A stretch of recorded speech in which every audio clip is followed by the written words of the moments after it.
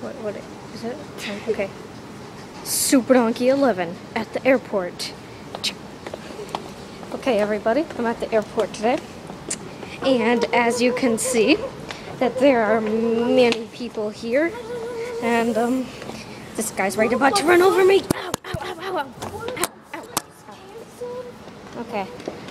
Okay. So, we need to go to. This way to get our. Um, we can't go to the elevator. Can we?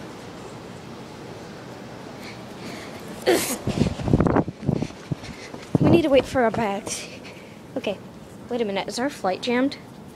Are you kidding me? Yeah.